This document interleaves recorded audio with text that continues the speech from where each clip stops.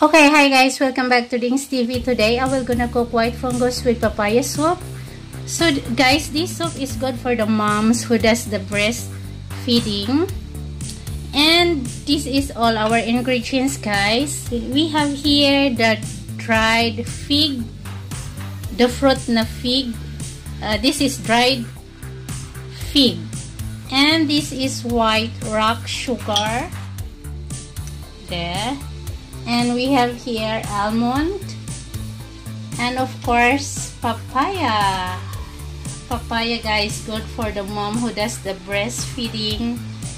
And this is white fungus. White fungus guys we need to soak up at least 10 minutes before we cook. So guys this is all my ingredients for cooking the soup papaya with white fungus and here there.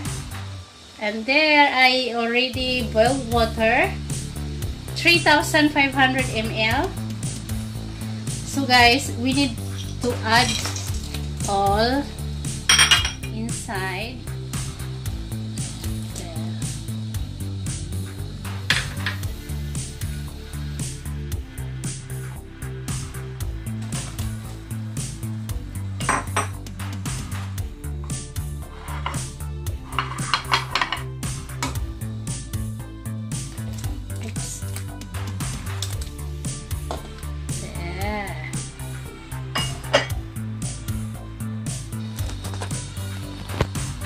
So guys, this soup boiled just only 30 minutes. And then done. This is like a dessert soup.